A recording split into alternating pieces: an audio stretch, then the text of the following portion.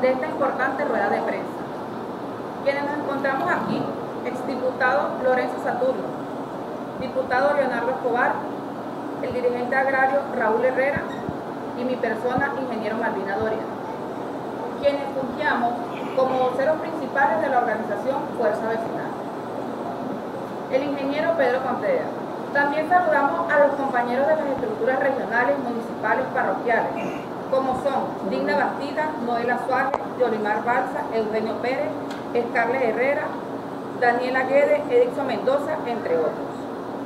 En las últimas horas ha sido de conocimiento y de toda la sociedad barinesa que es un equipo de mujeres y hombres con ideales, compromiso firme, con una alta voluntad y deseo de cambios políticos, económicos, social y hasta cultural que requiere nuestro país, especialmente en nuestro estado Barinas, donde ya agotados los canales regulares y no logramos las soluciones simples y básicas para solucionar el problema. Hemos suscrito un documento donde anunciamos nuestra colectiva e irrevocable decisión de renunciar en su gran mayoría a la directiva regional y distintos miembros de la estructura de la organización política llamada Fuerza Vecinal. Ya que desde el primer día de nuestra inclusión, hace cinco meses, iniciamos como la mayor disposición de trabajar, porque una vez leídos los estatutos, el reglamento interno, que rige las normas y funcionamiento del mismo, creímos que era la organización que todos los venezolanos estábamos esperando. Una organización donde se respetase a todos los que allí hacían vida. Una organización donde mediante una estructura horizontal, donde se dejará a un lado los intereses personales y pudiéramos trabajar por el interés colectivo, que es el mayor deseo y clamor de todos los venezolanos pero que a su vez se pudiera respetar las decisiones, el trabajo y sobre todo valorar el esfuerzo de todos mediante el respeto, inclusión y tolerancia. Es por ello que durante las últimas horas hemos suscrito un documento con carácter irreversible, donde renunciamos a esta organización por considerar que sistemáticamente se ha venido violentando su reglamento interno, donde la palabra, la voz, el derecho de todos nosotros no es tomada en cuenta por no ser complacientes de lo que de lo que a nuestra consideración es incorrecto para el buen desempeño y funcionamiento de esta organización. Es decir, es una organización que no está encaminada por el camino que dicta sus leyes, sino que la misma está tomada un curso de interés personal y no institucional y colectivo como se define.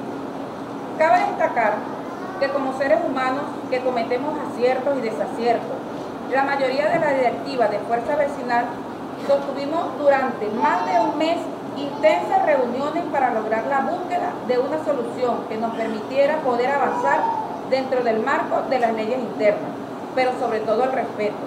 Y hemos llegado hasta este escenario es porque nunca existió la, la voluntad e interés de poder llegar a la solución que todos esperaban.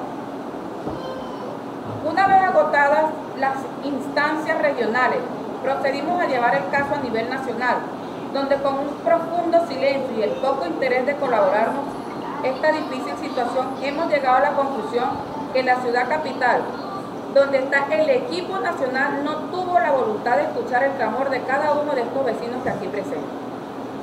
No quedando como otro camino, es por ello que decidimos hacer nuestra renuncia formal y hoy pública. Que en este humilde esfuerzo que estamos haciendo llegue a cada rincón de Barinas, pero en especial que llegue ya a la ciudad de Caracas, para que situaciones como esta, si de verdad se quiere construir un partido distinto y con visión de futuro, puedan enfrentar los problemas y dar la cara cuando las regiones lo necesitan. Estos vecinos, esta familia se mantendrá unida. Así hacemos esto transitado durante muchos años, porque juntos hemos logrado pasar momentos difíciles y adversos. Juntos hemos reído, juntos hemos llorado, pero sabemos que juntos lograremos cosas en este estado. Les deseamos a quienes se queden éxito y que después comprenden en algún, en algún momento que esta organización política son para construirla entre todos, por todos y para todos, y no para una figura en particular. Seguiremos trabajando por la unidad verdadera, la que con tanta esperanza esperan los venezolanos es por ello que estamos aquí, dando la cara con mucha responsabilidad y seriedad, y el pueblo de Barinas puede contar con nosotros. Gracias y que Dios los bendiga.